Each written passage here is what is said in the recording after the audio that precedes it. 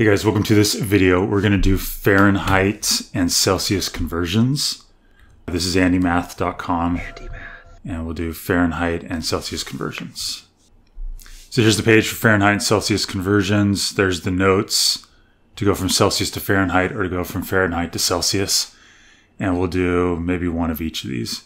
So for number one, convert to Fahrenheit.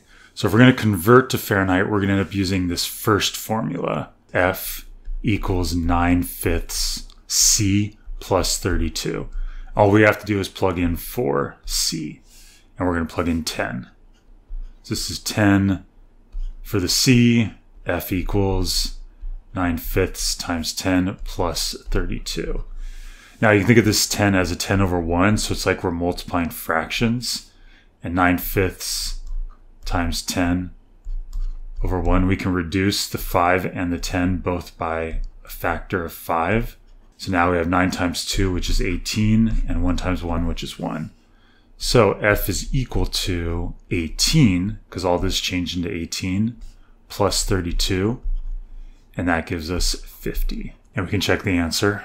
The answer is 50 degrees Fahrenheit. Next, let's do number 5. Now we're going to convert to Celsius. So we want to use the other formula, this Fahrenheit to Celsius. C equals 5 ninths F minus 32. So we'll plug in 86 for F.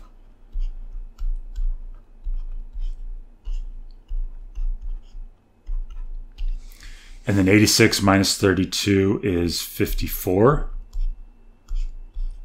So now we have 54 times 5 ninths. You can think of the 54 as a 54 over 1. This 9 and this 54, 9 goes into both of these, so the 9 will change into a 1, and the 54 will change into a 6. So now we have 5 times 6, which is 30 over 1. So the answer is 30 degrees Celsius. And we can check it 30 degrees Celsius. So this makes sense. This is how to convert Fahrenheit to Celsius and Celsius to Fahrenheit. Check out andymath.com if you're studying anything else. Uh, lots of material.